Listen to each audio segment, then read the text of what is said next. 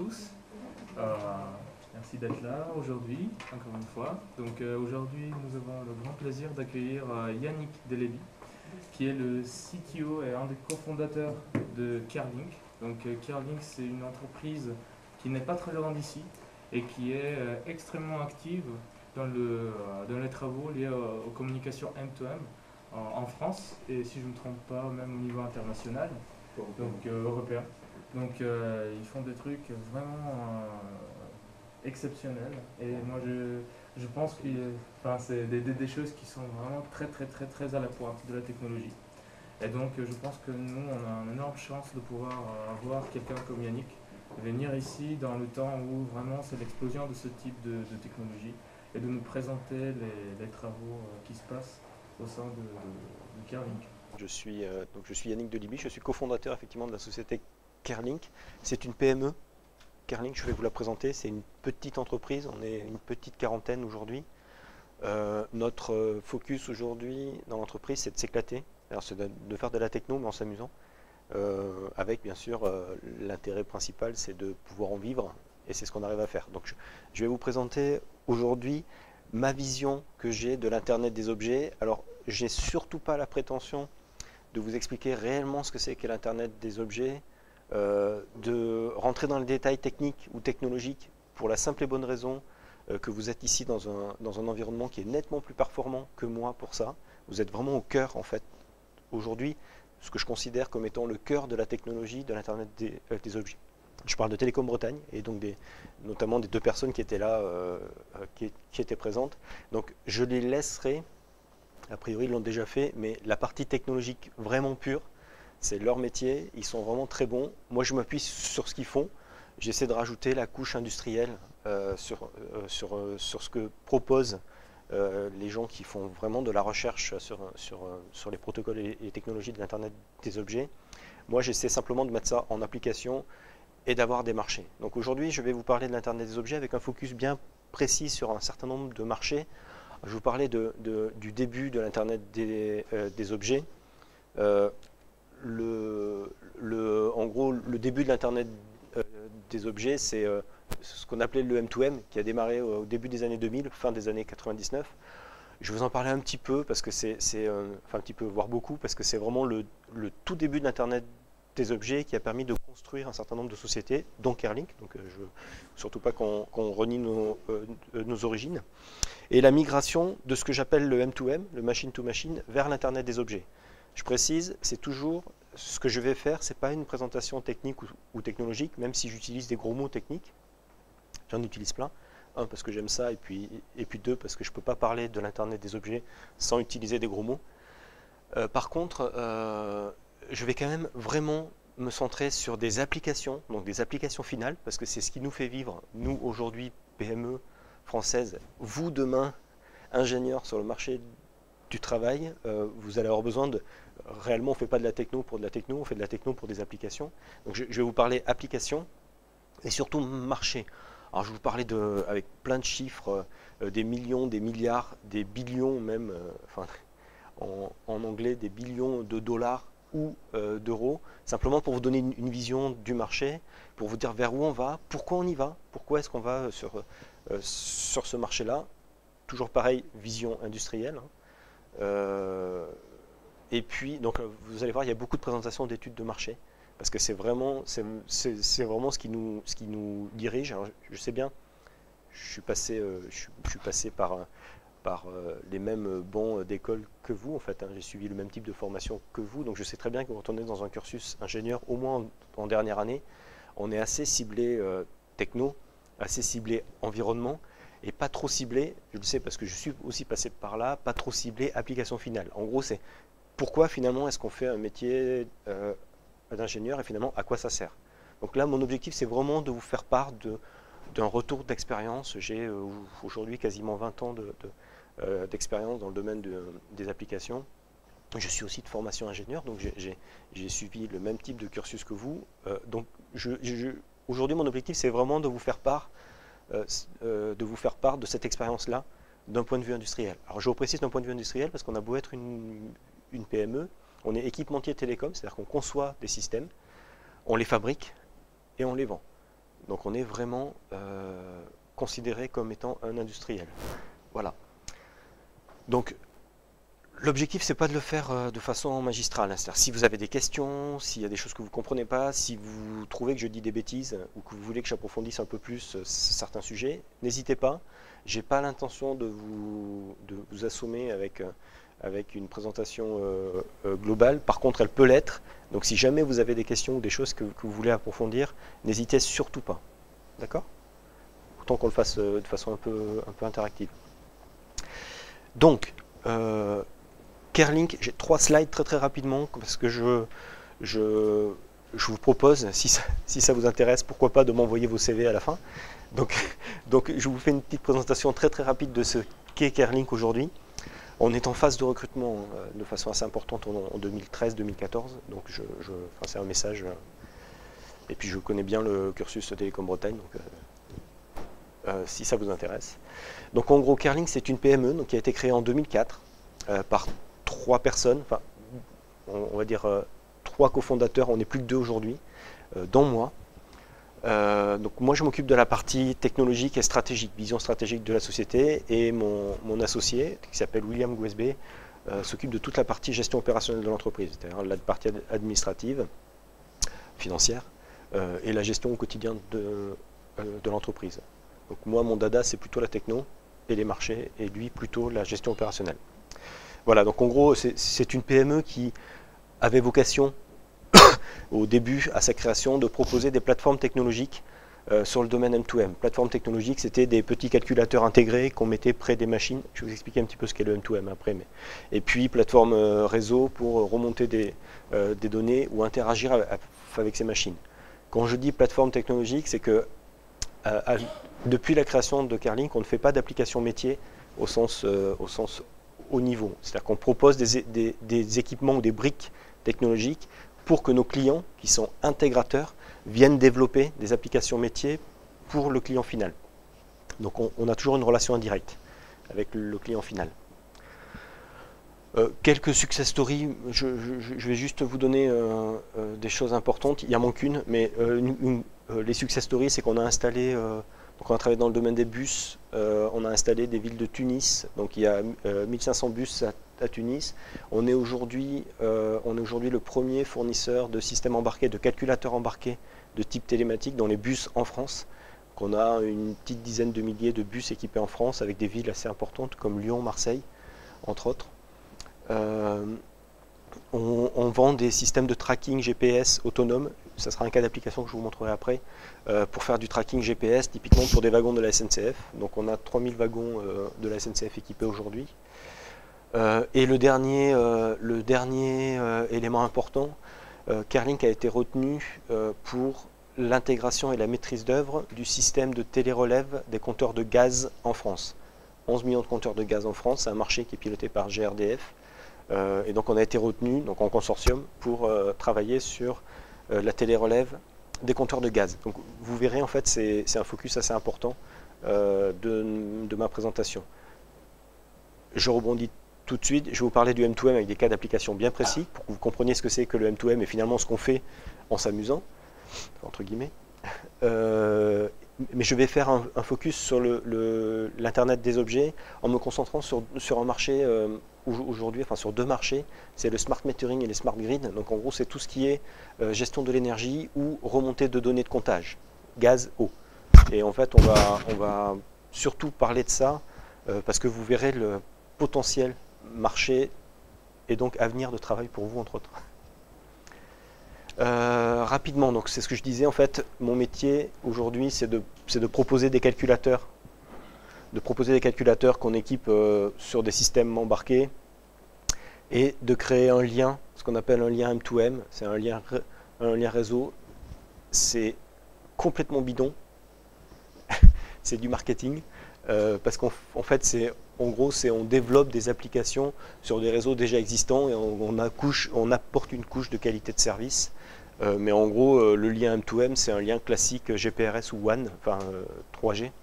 Euh, qu'on utilise classiquement. Donc on rajoute des couches de protocole au-dessus pour rajouter de la qualité de service, mais globalement, le backbone utilisé, c'est un backbone GPRS ou 3G. Aujourd'hui, donc on développe, on développe des produits communicants. Donc c'est des, vrais calculateurs. Hein. donc notre cœur de métier, c'est du Linux aujourd'hui sur de l'embarqué. Petit message aussi, si ça vous intéresse, on fait du Linux et que du Linux sur de l'embarqué. Euh, et on fait des études et, développement. Donc on opère un, réseau M2M, euh, donc un réseau à qualité de service avec de la valeur ajoutée. Et quand je dis on l'opère, c'est qu'on le maintient en condition opérationnelle 24-7, 24 heures sur 24, 7 jours sur 7.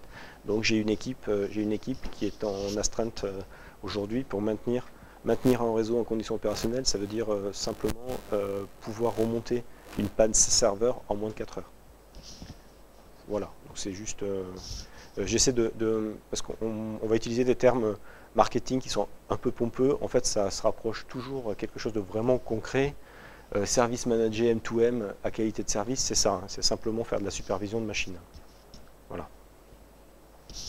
Donc nos clients importants aujourd'hui, euh, je tiens à préciser SNCF dans le domaine du tracking, GRDF, ERDF et et Lyonnaise des Eaux, ça c'est dans le domaine de la télémétrie et smart grid. Alors GRDF, gaz, ERDF, électricité, et Suez, en fait c'est la Lyonnaise des Eaux, eau. Voilà, donc là on a couvert les trois fluides énergie euh, que compose le marché du smart grid et de la, du smart metering. Bon, on va commencer par entrer dans le vif du sujet, par quelques définitions. Je précise, je l'ai écrit en haut, euh, je l'ai écrit en haut, c'est des décisions, euh, c'est des définitions euh, qu'on véhicule nous, qui ne sont pas obligatoirement les, définitions véhiculées par les professionnels du marché. C'est notre vision du marché M2M aujourd'hui. Donc notre vision du marché M2M aujourd'hui, c'est les communications entre machines automatiques, c'est-à-dire sans intervention humaine. Euh, là, tous les mots sont, importants. Communication, ça veut dire, d'un point de vue technologique, ça veut dire des protocoles. Mise en place de protocoles spécifiques pour communiquer avec les machines. Les machines, ça veut dire quoi? Ça veut, dire des équipements qui sont généralement distants, autonomes euh, et euh, non connectés ou non connectables de façon filaire avec le système d'information. Machine, ça sous-entend aussi quand on parle du M2M, le deuxième M, la machine, c'est généralement un système d'information. On fait très très rarement des applications de réelles machines embarquées à machines embarquées. C'est dans la majorité des cas machine embarquée vers système d'information. Donc la deuxième machine du mot M2M, c'est un système d'information, c'est un serveur. Et sans intervention humaine, bien sûr, euh, c'est de la remontée automatique de données. Je vais vous, là, c'est des définitions euh, euh, génériques. Hein. je vais rentrer dans le détail après avec, avec beaucoup plus d'informations, d'exemples de, cas d'application.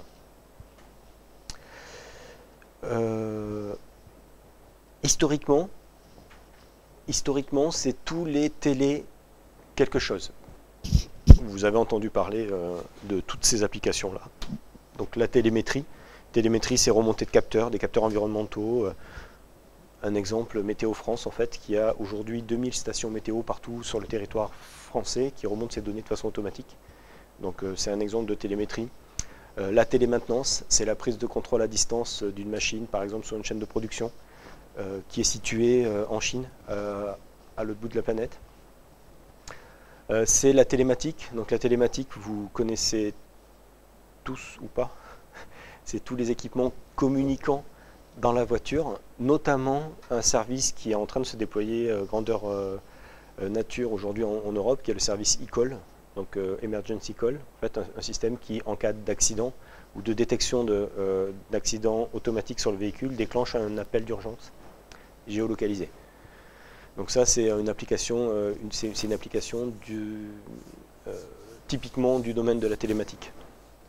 Euh, la télémédecine, la, télémédecine c'est facile, hein, euh, on voit bien ce que ça permet d'autoriser, notamment un des marchés qui est assez important, c'est le maintien à domicile euh, des personnes malades qui ont besoin d'être instrumentées, plutôt que de les équiper, de les surveiller en zone médicalisée.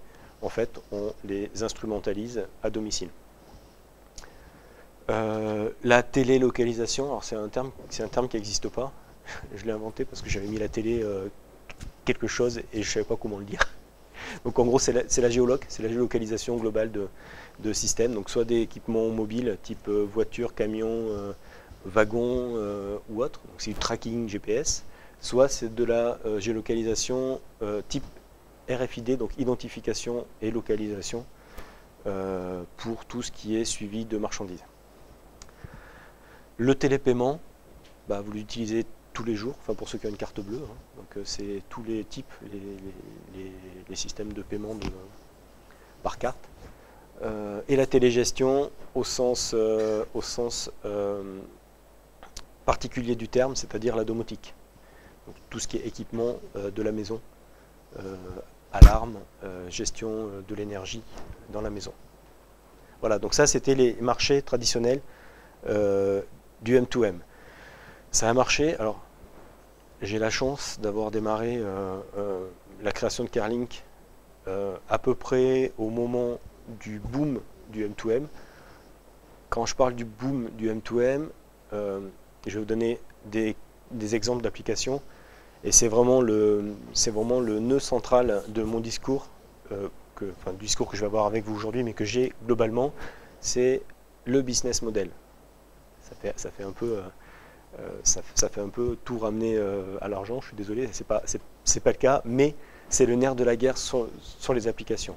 Je vais vous donner quelques exemples d'applications sur le marché M2M.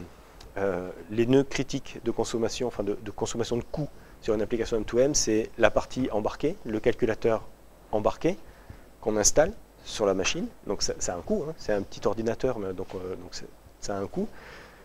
Les communications, donc typiquement la carte SIM, et, euh, et le service à valeur ajoutée de l'application finale côté système d'information.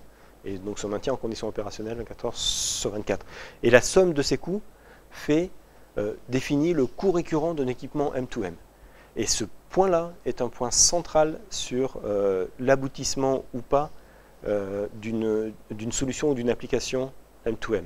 Je vais vous donner deux exemples de, produits, euh, de produits qui font que, l'application n'a pas pu voir le jour. C'est simple. Je vous donne un cas très simple. C'est ce qu'on appelle le marché du vending machine. Donc le marché du vending machine, c'est tous les distributeurs de canettes de coca ou de distributeurs de, sucreries, enfin euh, qui sont positionnés un, petit peu partout. L'intérêt, c'est de les équiper d'un calculateur, de remonter les données d'alerte pour pouvoir intervenir au plus vite, mieux gérer euh, l'approvisionnement de, euh, de, ces machines avec l'objectif, effectivement, de rentabiliser plus vite leur usage. La problématique, c'est qu'une machine vide, ça coûtait moins de 500 euros, l'achat de la machine vide. Euh, le calculateur coûtait 250 euros, donc la moitié du prix de la machine. Euh, et le coût, globalement, le coût de communication et de service, on était à 30 euros par mois. En gros, pour une machine qui est censée rapporter 15 euros par mois.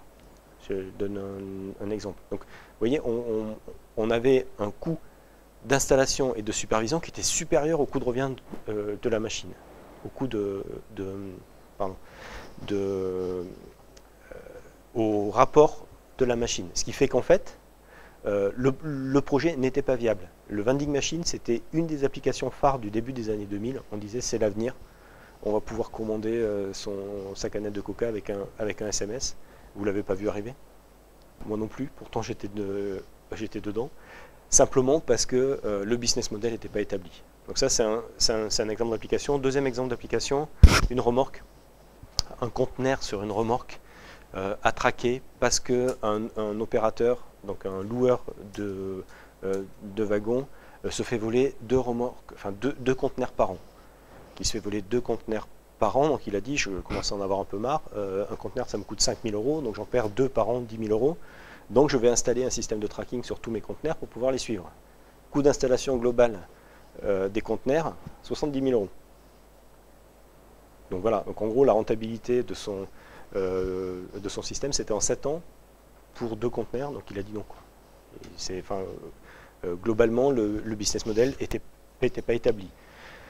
c'est en train de diminuer. Pour une raison très simple, c'est que les coûts du matériel diminuent. Je vous parlais de 250 euros, maintenant on est en dessous de 100 euros sur la partie calculateur. Euh, donc on est vraiment, c'est un marché qui est hyper concurrentiel, donc on tire les prix à la baisse.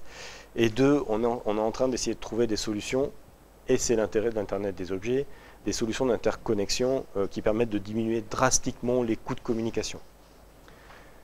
Aujourd'hui, utiliser une carte SIM pour faire du GPRS, euh, c'est euh, rédhibitoire sur, sur tout le marché de l'Internet des objets. Pourquoi? Parce que ça coûte beaucoup trop cher. Il n'est pas question, vous vous rendez bien compte, il n'est pas question qu'on mette une carte SIM sur un compteur, sur un compteur d'eau.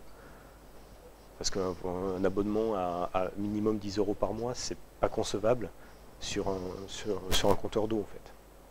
Parce que vous voyez bien, la facture moyenne d'un compteur d'eau aujourd'hui en France, c'est entre 170 et 190 euros par an. L'abonné paye entre 170 et 190 euros par an pour l'eau. Donc on ne va pas mettre un, système de remontée de, euh, comptage qui va, qui va coûter 10 euros par mois. Donc ce n'est pas, pas envisageable. Donc on est en train d'essayer de trouver des solutions techno pour réduire drastiquement ce prix. Et donc j'en arrive à la conclusion euh, c'est qu'en fait, c'est toujours le prix, donc le business model, qui dirige le choix des applications M2M.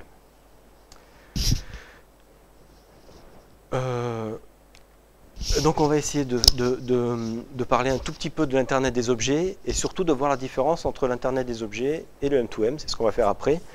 Je vais vous donner deux définitions, enfin quelques définitions de l'Internet des, euh, des, objets. J'ai surtout pas vocation euh, à, ce que les définitions que je vous donne là soient coulées dans le marbre. Hein, parce que c'est vraiment quelque chose, c'est vraiment euh, quelque chose qui dépend à chaque fois de la vision qu'on a euh, de, ces objets-là.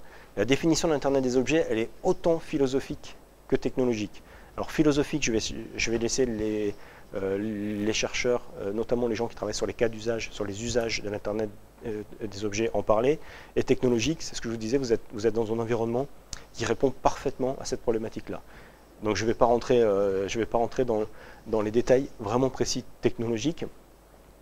Ma vision aujourd'hui en tant que euh, qu'industriel sur Internet euh, des objets, c'est qu'en fait, d'un point de vue technologique, on va utiliser, on va tout faire pour utiliser des protocoles standards, ouverts, interopérables. Donc interopérable, euh, ça veut dire, enfin c'est clairement, ça veut dire qu'il faut qu'on puisse trouver des solutions technologiques qui nous permettent de remonter des données des objets euh, de façon complètement décorrélée euh, de l'infrastructure globale de relève. Aujourd'hui, ce n'est pas le cas sur le M2M, on va en parler après, mais l'objectif, c'est vraiment d'utiliser des protocoles qui puissent permettre de, de rendre les objets complètement communicants avec leur environnement et les systèmes d'information. C'est un peu fumeux, mais vous allez comprendre un petit peu après la différence.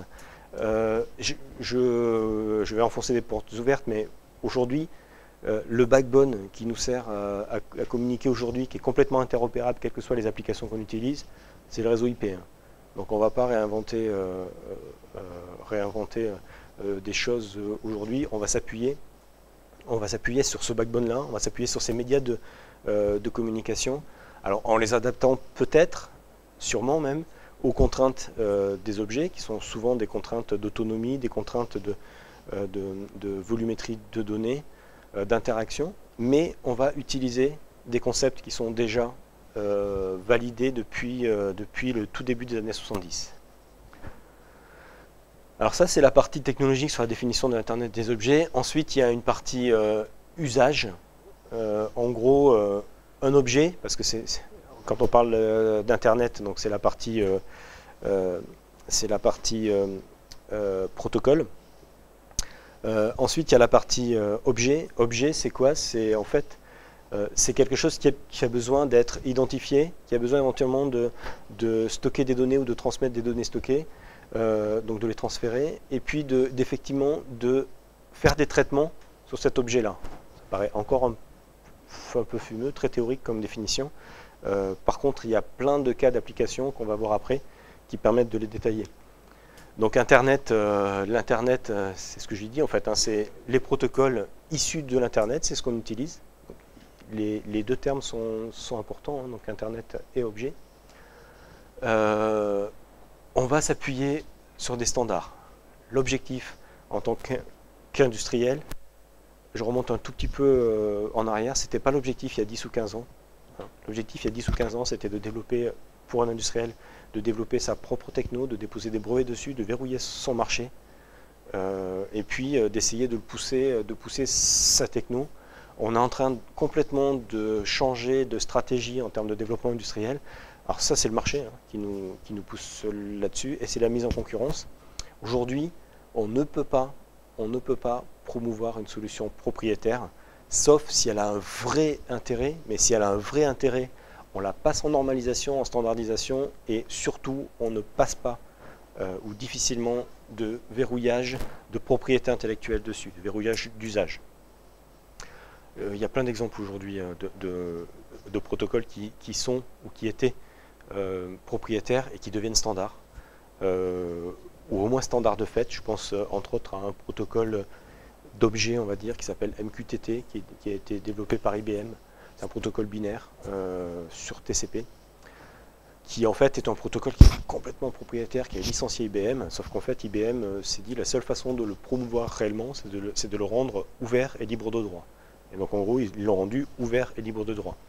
Et vous l'utilisez tous les jours, puisque c'est le protocole qui sert entre autres de signalisation pour Facebook, pour les applications Facebook, embarquées. Donc tout ce qui est téléphonie tout ce qui est sur smartphone. Donc c'est le protocole qui sert de signalisation, qui sert de support de signalisation pour Facebook. Et c'est pas un standard. Ce c'est pas un standard au sens normalisation du terme. C'est un standard de fait parce qu'il est libre de droit et ouvert. Euh, deuxième euh, euh, mot clé, c'est l'objet. Donc les objets, j'ai essayé de, les caractériser par trois grands sous-fonctions, en fait, trois grandes sous-fonctions. Un objet est caractérisé par son état, donc il est, on, off, il est actif ou inactif. Il est caractérisé par une ou plusieurs fonctions, donc soit il effectue une mesure, soit par exemple il sert simplement à identifier un équipement, et par un comportement dynamique autonome. Alors comportement dynamique autonome, ça veut dire qu'en fait il a son propre état et il interagit tout seul avec son environnement il se réveille euh, de façon euh, complètement asynchrone, il fait sa mesure complètement asynchrone. C'est du préprogrammé, hein. faut pas non plus, euh, c'est pas, c'est pas un équipement qui est complètement autonome, c'est du préprogrammé, mais il fait ses mesures tout seul et il décide lui-même de faire sa transmission, enfin d'établir sa transmission. Donc ça, a des contraintes fortes sur la topologie réseau, donc on en parlera après, mais il faut vraiment qu'on prenne en compte le fait que ces objets-là sont complètement autonomes sur le réseau. Vous avez des questions? Non? J'ai mis quelques exemples. Vous, vous, reconnaissez, euh, vous reconnaissez Linky, donc on en parlera après. Parce qu'on a beau être industriel, on a beau euh, euh, s'intéresser au marché et faire, et faire ne vivre que pour ça finalement, que pour satisfaire nos clients. Des fois, on n'est on pas content et on a des coups de gueule. Ça nous arrive. Et j'en pousserai un petit sur, la sur le projet Linky. Vous connaissez tous le projet Linky, hein? Non? D'accord. En fait, le projet Linky, c'est le système de télé-relève et de gestion des compteurs électriques en France. Des 35 millions de compteurs électriques en France. On en parlera après, euh, parce que si, vous ne connaissez pas aujourd'hui, euh, demain, enfin demain c'est à partir de septembre, c'est ça, vous commencez à travailler, vous êtes censé commencer à travailler à partir de septembre, vous, en entendrez parler. parce que c'est un, projet qui fait parler de, qui fait parler de lui aujourd'hui le domaine dans le domaine des télécoms, entre autres, et, du smart grid. Donc je vais vous faire une, démonstration euh, par l'exemple euh, du M2M, la différence entre le M2M et l'Internet des objets. Alors vous, allez voir, c'est, euh, globalement c'est simple à comprendre. une fois qu'on a vu cet exemple-là, je prends un cas d'application particulier qui est le domaine de la télérelève, euh, télérelève de compteur. Alors compteur d'eau ou gaz. Vous voyez tout ce que c'est qu'un compteur d'eau. Donc un ah, excusez-moi, ça. Un compteur d'eau en fait c'est ça en fait, hein. c'est un système qui est dans un regard euh, euh, devant votre maison. Et le compteur de gaz, bah, c'est ça. Alors là j'ai mis le petit compteur électrique, mais on n'en parle pas, c'est juste compteur de gaz et compteur d'eau. L'objectif, c'est de remonter la consommation en temps réel ou quasi temps réel de ces compteurs-là. On verra pourquoi après, parce que c'est l'intérêt euh, euh, principal des smart grids. Euh, donc l'objectif, c'est de remonter au moins quotidiennement cette information-là. Alors, vous, voyez la contrainte principale, les compteurs ils sont enfouis dans des regards, sous terre, la plupart du temps, et surtout autonomes, complètement autonomes. C'est-à-dire pas d'énergie, aucune énergie, euh, donc, euh, euh, et, donc, et, surtout pas de connexion filaire. Donc on ne peut pas utiliser de la DSL ou autre pour, pour remonter, on est complètement enfoui. Donc les solutions, c'est solutions radio, donc des communications radio courte portée, courte ou moyenne portée, et autonome sur pile. Contrainte forte, la durée de vie d'un compteur, c'est 15 ans minimum. GRDF, compteur de gaz, c'est passé à 20 ans. Donc en gros, il faut qu'on ait un système qui remonte quotidiennement l'index. L'index, c'est l'élément de consommation en fait. Hein. Euh, tous les jours, donc quotidiennement, pendant 20 ans. Donc euh, contrainte euh, d'intégration mécanique, on est en environnement hostile en plus, hein, puisqu'on est enfoui, on est sous, on est sous terre, et autonome, donc sur pile. donc les choix qu'on fait aujourd'hui, les choix techno qu'on fait aujourd'hui, même s'ils ne sont pas tous judicieux, mais on est poussé par le marché par ça, mais les choix techno qu'on fait aujourd'hui ont une durée de vie de 20 ans. Donc vous, euh, jeune ingénieur à démarrer sur le marché, vous allez devoir les subir pendant 20 ans, ces choix techno. Hein. Euh, donc, vous nous remercierez peut-être ou pas, euh, mais, c'est des choix qui sont, qui sont pris aujourd'hui, et en fait on est bien obligé de les prendre en prenant en considération les évolutions des réseaux vous avez peut-être entendu parler, euh, parce que aujourd'hui ça fait pas mal de bruit, de l'arrêt de la 2G, donc du, GSM, au profit de la 3G de la part des opérateurs. C'est catastrophique. Si les opérateurs annoncent ça, c'est catastrophique. Parce qu'on a des systèmes qui sont installés depuis 2005 et qui sont censés vivre jusqu'en 2025, aujourd'hui, qui sont basés sur ces technos-là. Si les opérateurs, tous, hein, décident du jour au lendemain de fermer le robinet, euh, il y a tout un pan de, l'économie du marché M2M euh, qui, va, être remise en cause, simplement parce que les systèmes fonctionneront plus alors qu'il y a eu des, investissements faits sur des technos qui ne seront pas pérennes, qui, étaient censés être pérennes au, début du, euh, du, projet et qui ne le sont plus. Donc on a des contraintes de vision dans le temps. Moi quand ça s'arrêtera, je serai peut-être à la retraite, en tout cas j'espère. Mais pas vous. Donc, donc en gros, ces, ces, ces solutions-là, aujourd'hui, ont, ont, on a vraiment des contraintes de choix de technologie à faire. Et les, choix qu'on fait aujourd'hui sont des choix qui sont structurants pour l'avenir. Donc, euh, je reviens sur le, sur le principe. La télé-relève, c'est simple. On a un système sans fil. Donc ici, on voit un petit module sans fil qui est sur le compteur, qui communique en radio, donc on appelle euh, LAN, euh, pour, c'est une, radio locale, euh, donc avec une portée euh, de, euh, qui va entre 100 et 1000 mètres, suivant les technos qu'on utilise, vers un concentrateur. ce qu'on appelle un concentrateur, c'est ni plus ni moins qu'un ordinateur qui a des modems radio, qui fait de la collecte de données, qui centralise ces données-là et qui les transmettent au système, au système d'information. Donc c'est un concentrateur au sens donné du terme. Le mot est important parce que la différence entre l'Internet des objets et, et le M2M au sens euh, générique du terme, euh, il est surtout basé là-dessus, sur ce mot-là, sur le concentrateur. Donc aujourd'hui, euh, c'est un système de télérelève fixe, c'est-à-dire que l'opérateur de télérelève va installer des concentrateurs sur le toit des immeubles. Donc il est en train d'installer complètement son réseau. Et c'est là que je fais ma petite parenthèse rigolote. ERDF, euh, GRDF, parce que là je, vais donner le, cas du gaz. Euh, la différence fondamentale, télérelève eau, euh, télérelève, alors au gaz je me mets dans le même, parce qu'on a choisi les mêmes technos en fait, pour l'eau et pour le gaz, par rapport à ERDF, c'est qu'en fait, au gaz, on est passé sur de la radio ici. Sur de la radio, donc avec des portées, je vous dis, jusqu'à 1000 mètres. ERDF, e ont choisi, pour des raisons historiques, technologiques, stratégiques, euh, mais en tout cas pas pour les bonnes raisons, ont choisi des technologies de type courant porteur, donc euh, CPL, donc, ce qui sont des technologies, vous en avez entendu parler, hein, mais le, G3 PLC, entre autres, je pense que vous avez eu des cours dessus, non, sur un peu? Donc en gros, c'est des technologies de communication en utilisant le réseau électrique, hein, donc c'est du PLC, ou CPL en français. Euh, donc c'est du filaire, d'accord? Et donc là, c'est juste une parenthèse. Euh, pour couvrir le territoire national, aujourd'hui, GRDF, on a 11 millions de compteurs de gaz à relever. 11 millions de compteurs de gaz. Pour couvrir le territoire national, on a besoin de 20 000 concentrateurs. C'est déjà un chiffre non, négligeable. 20 hein. 000 concentrateurs, il faut trouver 20 000 immeubles où poser un concentrateur. Ça, c'est le, premier élément.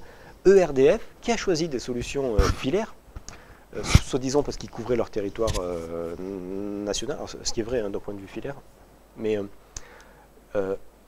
ERDF, e ils ont 35 millions de compteurs électriques, donc trois fois plus que GRDF. 35 millions par rapport aux 11 millions. Par contre, ils ont besoin d'un million de concentrateurs.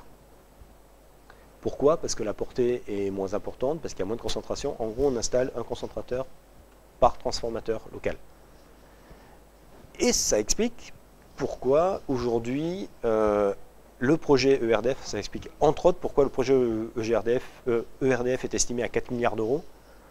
Euh, et donc, pour lequel, euh, pour, pourquoi ce projet-là euh, prend du temps, prend du retard euh, à être déployé parce que ça demande un investissement énorme. Mon avis d'industriel, c'est qu'aujourd'hui, les solutions techno qu'ils ont choisies n'étaient pas les bonnes. Alors, on ne les remet pas en cause, puisqu'en fait, il y a eu tout un travail de fait, euh, mais c'est un exemple pour lequel le choix de la technologie peut avoir un intérêt majeur sur le budget global d'un projet, donc en gros sur son modèle économique. Donc voilà, c'était juste une parenthèse. GRDF, quand on a remporté le marché de GRDF, on a eu une consigne de la part de GRDF. La consigne, c'était ne pas reproduire l'erreur du projet Linky de RDF. Donc c'est une consigne qui était, qui était assez claire. Et donc en fait, on n'est pas parti sur les mêmes technos, on est parti sur, des technos, euh, on, verra après, euh, des technos standards euh, qui ne sont pas obligatoirement judicieux. si j'avais été seul à choisir, je n'aurais pas obligatoirement choisi ces technos-là. Mais c'est des technos qui sont pérennes et qui sont standards et avec, une topologie réseau radio. Donc, euh, le concentrateur, sa fonction principale, c'est de récupérer les données issues des compteurs, de les, euh, euh, agglomérer, de faire un, un, stockage local et de les transférer vers le WAN. Donc en gros, ça donne ça. On a des données qui sont véhiculées euh, vers le concentrateur de façon périodique. Le concentrateur euh, les, euh, fait en fait un gros fichier, enlève tous les doublons et les transmet vers le système d'information à une fréquence qui est prédéterminée. Ça, c'est une application M2M. Ça, c'est une vraie application M2M. Ce n'est pas une application Internet des objets. Les mots-clés en bas, c'est sur la techno radio, les protocoles qu'on utilise, c'est Wireless MBus. Est-ce que vous avez déjà entendu parler de Wireless MBus Du protocole MBus Alors, du RS485 Filaire Non? Ok. Euh, le protocole MBus est un bus, MBus, hein, est un bus euh, filaire euh, de type RS485 qui était utilisé dans le domaine industriel pour piloter des machines sur des chaînes, sur des chaînes industrielles. on en a fait une version sans fil, donc Wireless MBus, euh, qui permet de récupérer ou de piloter euh, des équipements distants sans fil. C'est un protocole complètement industriel. C'est pas du tout un protocole Internet, en tout cas c'est pas du tout pensé pour ça, c'est fait par des, industriels. Alors sans aucun aspect péjoratif, c'est un protocole qui est germano-allemand, qui est vraiment euh, pensé centre de l'Europe et que centre de l'Europe. Malheureusement pour nous technologues, hein, je ne parle pas de, la partie marché, euh, les Allemands aujourd'hui sont beaucoup plus puissants que nous sur ce domaine-là, donc c'est un, standard qu'ils ont imposé. Donc c'est un standard qu'on est obligé de suivre, qu'on est obligé de suivre parce que c'est un standard imposé, largement répandu euh, sur le marché allemand. Euh, maintenant, c'est un standard qui marche bien, hein, c'est complètement standardisé, c'est quelque chose qui fonctionne bien, c'est en radio. Alors en radio sur deux gammes de fréquences, 868 mégas donc UHF, ou en VHF à 169 mégas. c'est un protocole qui est quand même orienté très comptage, comptage eau, eau et gaz, euh, et c'est un protocole qui, euh, qui est euh, bidirectionnel, mais de façon complètement asymétrique. C'est-à-dire qu'en fait, on fait de la remontée depuis les compteurs. Par contre, pour interroger les compteurs, c'est beaucoup pour, pour dialoguer vers les compteurs, c'est beaucoup plus compliqué. Donc c'est vraiment du bidirectionnel, mais vraiment complètement asymétrique. Et puis bah, les technos qu'on utilise ici, on fait de la concentration de données. Hein. donc en gros, on crée des fichiers binaires sur la partie WAN, donc GPRS ou 3G, dans le concentrateur on crée des fichiers binaires et puis on les transfère euh, soit en HTTP classique XML, soit en SOAP. Donc, euh, des technos que vous connaissez euh, sans doute bien maintenant, mais c'est des technos web classiques. Donc on est vraiment sur un marché M2M, c'est de, bout en bout, mais de bout en bout non interopérable. C'est-à-dire c'est une application qui est dédiée depuis le compteur jusqu'au système d'information. Chaîne complètement dédiée à la différence euh, de l'Internet des objets, que j'aurais bien aimé pousser, mais j'étais un peu seul à défendre cette solution-là, parce que, parce que arriver, euh, on va dire, arriver 5 ans trop tôt, en fait, sur ce marché-là. Euh, mais je pense qu'on y viendra. L'Internet des objets, pour moi, c'est exactement, d'un point de vue application, c'est la même chose. C'est-à-dire qu'en gros, l'objectif principal de l'application, c'est de remonter les index. Les index. Par contre, euh, ce qu'apportera l'Internet des objets dans les années à venir, c'est qu'en fait, on ne se souciera pas, d'un point de vue applicatif, on ne se souciera pas euh, du chemin que prendront les données. L'idée, c'est que le device construise un paquet de données et la transmettre, quel que soit le média, vers le système d'information. Est-ce que c'est est -ce clair? C'est-à-dire qu'en gros, là, on, sur le M2M, on a défini une chaîne on a défini une chaîne complète. Donc c'est une chaîne qui a été développée exprès pour ça. L'Internet euh, euh, des objets, on transmettra l'objet qui avancera euh, point par point jusqu'au système d'information sans se préoccuper finalement de son véhicule de transport. C'est le, terme est judicieux quand je parle de véhicule de transport, c'est-à-dire que ça peut être aussi un véhicule mobile. C'est le cas d'application en bas. Donc en gros, ça veut dire quoi? Ça veut dire qu'on va construire, un paquet, donc euh, gaz, eau euh, ou électricité à terme, en tout cas, en tout cas j'espère. Et ce petit paquet de données métiers pourra être véhiculé soit, comme on l'a vu précédemment, par un réseau dédié type M2M, donc c'est le cas ici en haut, en utilisant des technos radio classiques, soit en utilisant des technos radio euh, très courte portée, type Zigbee, pour s'interfacer avec des homebox, euh, type Livebox ou Enco, euh, dans la maison, soit, pourquoi pas, par un système de télérelève mobile, c'est-à-dire un véhicule qui passe dans la rue et qui récupère les données qui sont véhiculées en radio. Et ces données-là, donc elles sont, remontées vers ces systèmes-là, et ces données-là convergent vers un système euh, de centralisation de ces données-là, qui a deux fonctions principales. Euh, la fonction principale, c'est de router les données vers le client final et euh, de faire du stockage de données. Là, on introduit le concept de big data, dont, vous avez peut-être entendu parler déjà. En fait, ce concept-là, qui effectivement est un concept aussi fumeux, hein, pas non plus, qui en fait va nous permettre d'utiliser ou d'entrevoir les technologies qui vont permettre de gérer euh, des volumes de données qu'on n'a pas aujourd'hui euh, qu'on n'a pas aujourd'hui l'habitude d'utiliser.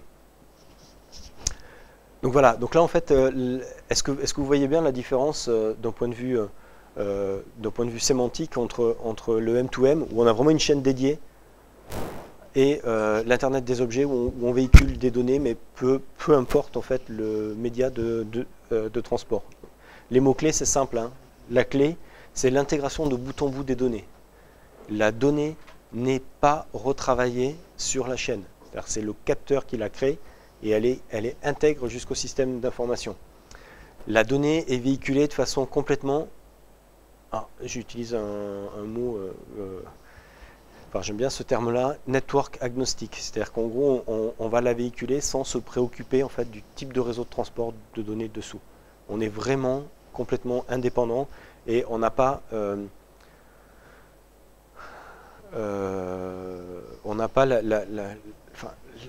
donnée ne, n'est pas conditionnée par le véhicule de transport des données donc la partie réseau. On est ce qu'on appelle network agnostique. Oui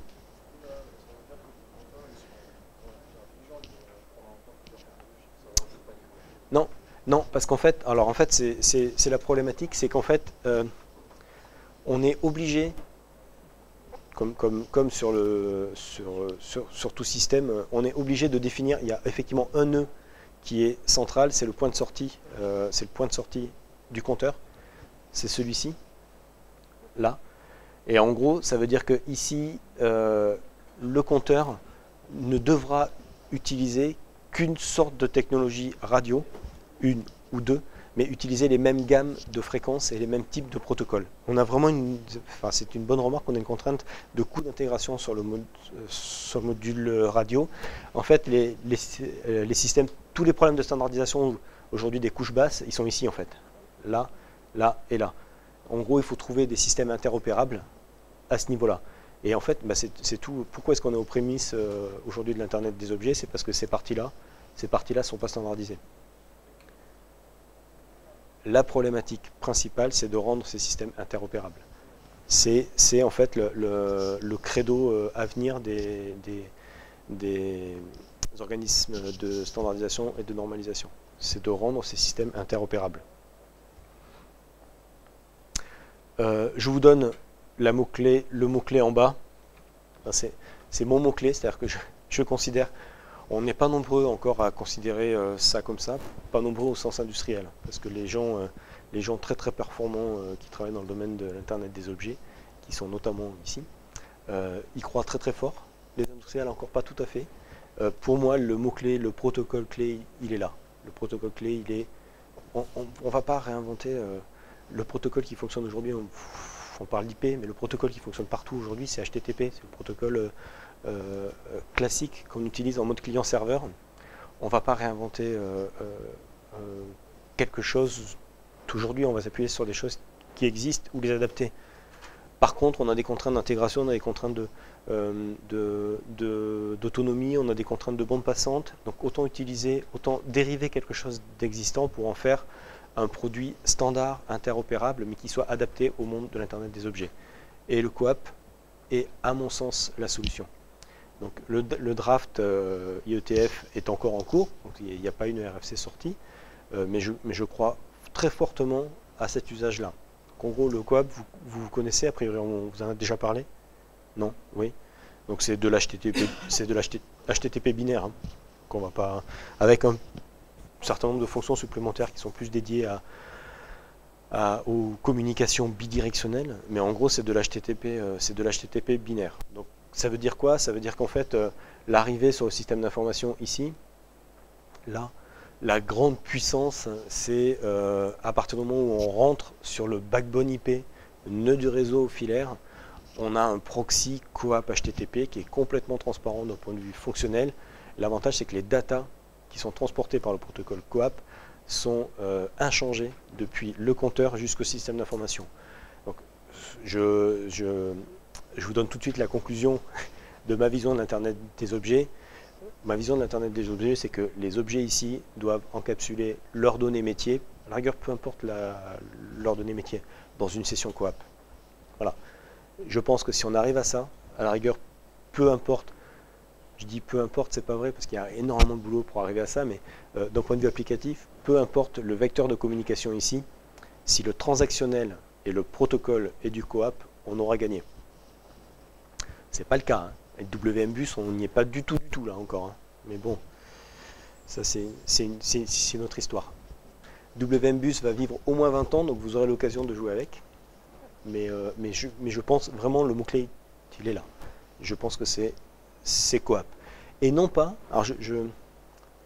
c'est bien parce que c'est une, parenthèse, jusqu'à l'année dernière, je discute beaucoup avec Laurent Toutain, donc euh, jusqu'à l'année dernière, j'avais une vision euh, Six-Lopan, donc vous voyez euh, IP, IPv6, en me disant c'est IPv6 qu'il faut. Quoi. Le, le, credo technologique de l'Internet des objets, c'est IPv6. C'est une erreur. C'est une erreur, un, parce que IPv6 n'est pas prêt d'aboutir ou pas obligatoirement là. Et deux, c'est une erreur parce qu'en fait, quel est l'intérêt principal de l'Internet des objets? C'est l'objet.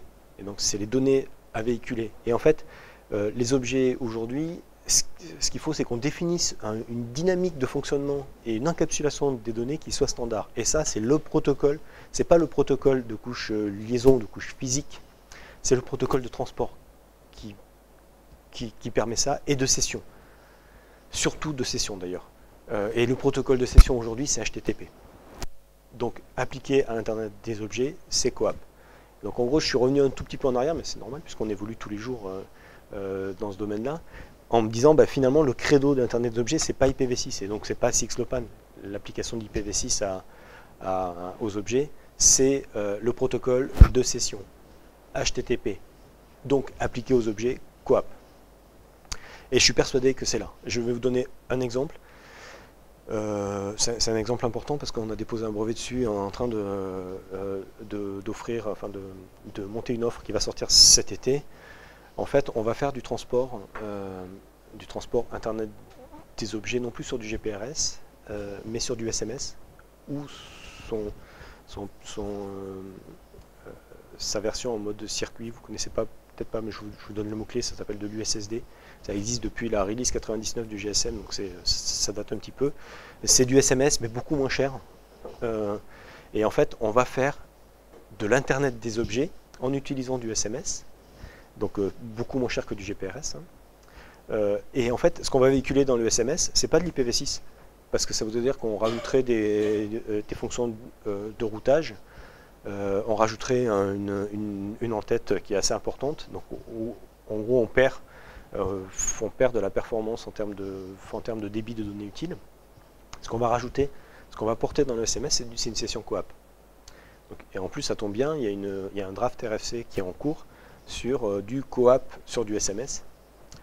Euh, et en, gros, c'est on, va arriver sur la gateway ici, qui en fait n'est plus une gateway, c'est un routeur. Euh, et ce routeur, en fait, c'est un, routeur ou un proxy HTTP coap.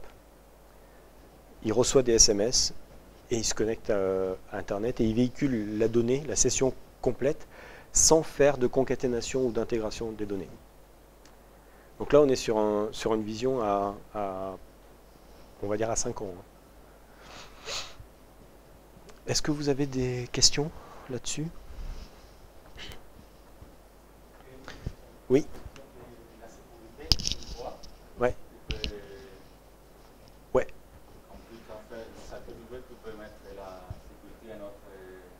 Alors, on, peut mettre la sécurité au niveau applicatif.